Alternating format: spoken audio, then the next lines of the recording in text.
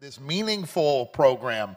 You know, when I joined the board of the chamber four years ago, they said, "What do you feel like is the biggest uh, challenge facing Santa Clara and Santa Clara businesses right now?" And that at that time, it was housing.